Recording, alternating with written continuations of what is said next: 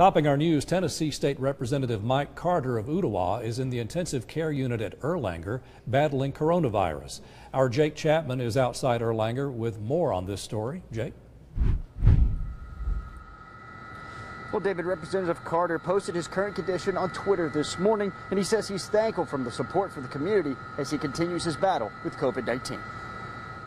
Carter posted on Twitter Monday morning, feeling better this morning, but expecting ups and downs during recovery. Sincere thanks to the wonderful staff here at Erlanger and for all of the prayers and well wishes. As he continues his fight against COVID 19 at Erlanger's ICU, Carter is the second known state lawmaker to test positive for the virus within the last week.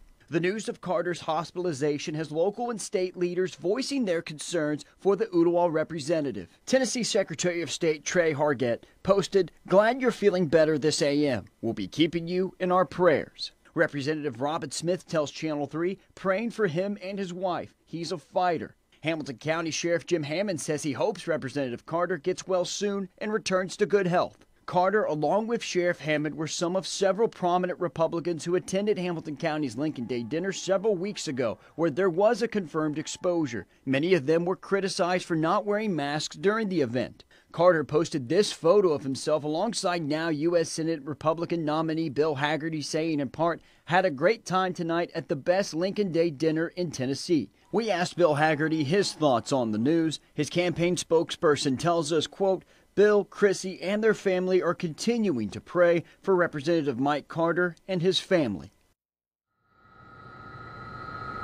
Now, it isn't clear if Carter contracted the virus at that event. We did ask the Hamilton County Republican Party their thoughts on Carter's battle and if they felt responsible for not forcing the mask mandate inside at that event. We have yet to hear back. For now, I'm live in Chattanooga. Jake Chapman, Channel 3 Eyewitness News.